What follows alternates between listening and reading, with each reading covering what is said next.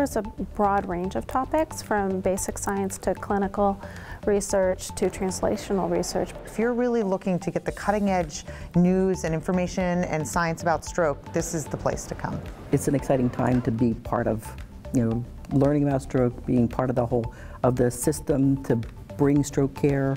To basically encompass everything, you know, from um, intensivist to clinical trials to epidemiology. It is the big tent for everybody, regardless of their specialty. Having neurosurgeons that are involved with their perspective and radiologists and imaging and neurologists and nursing and emergency medicine.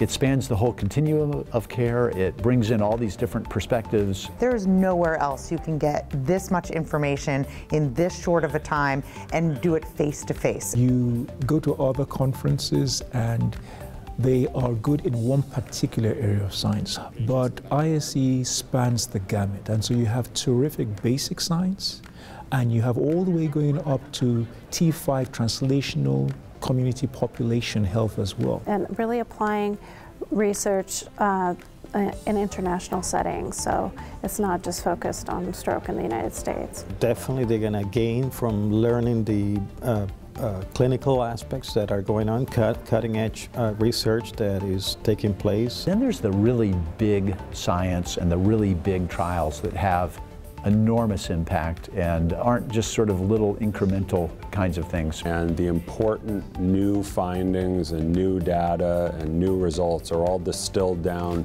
to their most critical facts in these presentations. I feel that at the end of the conference, I'm up to speed on everything that's important to me and my patients. This isn't stale. It's all fresh material that, and it's um, I, I, feel filled. I feel very, I feel sated.